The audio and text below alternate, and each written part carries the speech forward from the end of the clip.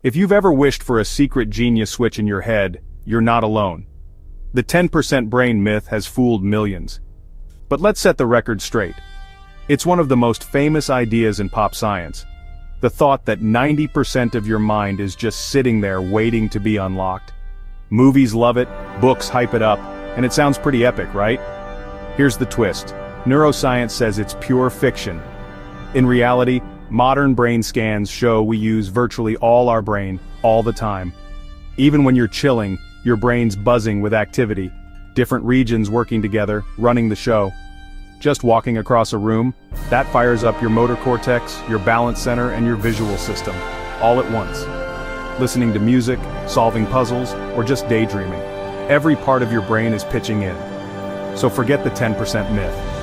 You're already using 100% of your biological masterpiece. There's no hidden genius to unlock.